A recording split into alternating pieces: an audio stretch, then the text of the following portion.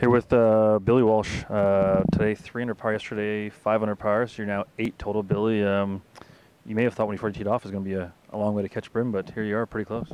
Yeah, you know, I I wasn't trying to go out there and catch him. I just wanted to put a solid round together, hit fairways, hit greens, and um, hopefully make up a little bit of ground. He played really well today. He just didn't make any putts, so um, it'll be fun tomorrow. I mean, it seems like he and I have been going back and forth for the last couple years, so maybe it's my turn to, to come out on top, but uh, I've got a long way to go. We'll see what happens. Well, obviously, you're a great player. That's uh, that's no uh, that's no uh, debate. But um, it seems like every time we have an event, you're you're right there in the hunt. You always seem to peak. Uh, how do you do it? I don't know. I you know what? I work hard at my game. Um, I've always been a good ball striker.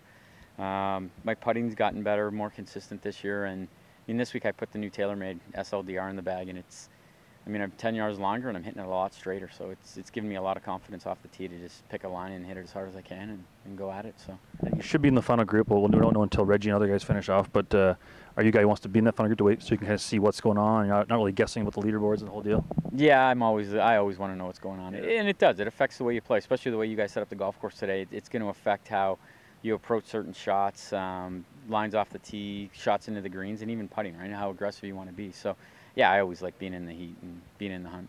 Final question for you. You've won almost everything you need to win in Ontario, but what you're missing right now is probably one of our national ones. Uh, how cool would that be? Oh, it'd be awesome. It'd be. It was funny because they announced Bryn today and they announced Mike, and they're both two-time champions. And I laughed to Mike. I'm like, you guys are getting too greedy. I just want to win one of them. So, um, yeah, we'll see what happens. We've got a lot of golf to play tomorrow, and uh, you know, just get off to a good start. Keep it in the fairway, keep it in the green, and hopefully the putter's hot and we'll see what happens. Awesome, man. Well, uh, great playing, and we'll see you tomorrow and likely the final group. Awesome. Thanks, Jeff.